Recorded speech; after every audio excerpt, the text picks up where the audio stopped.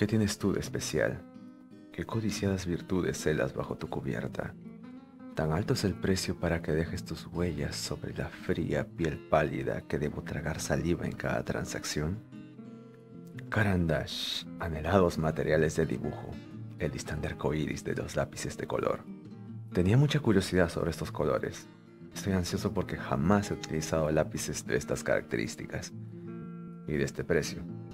Cada lápiz responde muy bien de acuerdo al propósito que se le dé en cada fase del dibujo.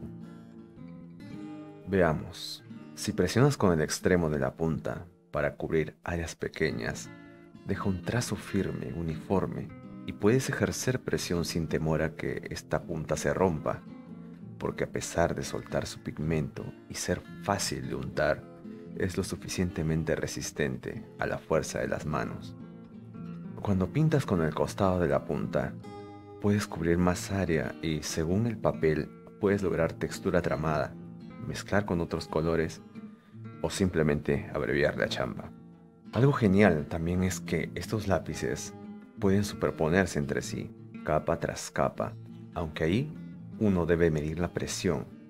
No querrás hacerle hueco al papel, ¿verdad? El lápiz blanco, además de permitir sacar matices muy claros, también sirve como buen difuminador. Ojo, aquí el orden de los factores altera el producto.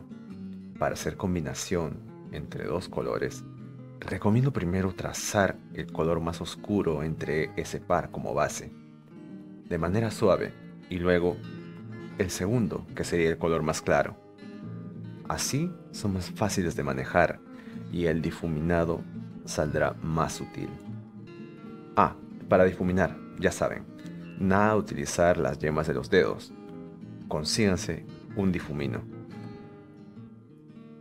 La gran pregunta, ¿vale la pena comprárselos? Mm, si puedes pagar por ellos, valen alrededor de unos 100 dólares el juego de solo 20 lápices, sin que afecte tus otros gastos mensuales, pues sí, no estaría mal probarlos, al menos una sola vez. Son realmente eficientes y con el tiempo y práctica, quizás yo me llegue a enamorar de estos materiales, aunque en verdad no quisiera que eso pasara pronto, por el bien de mi bolsillo.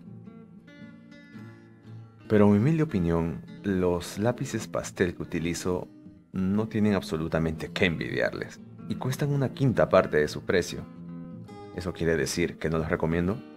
Para nada, los recomiendo, me gustan mucho, y es solo la opinión de alguien que recién está aprendiendo a utilizar estos finos lápices.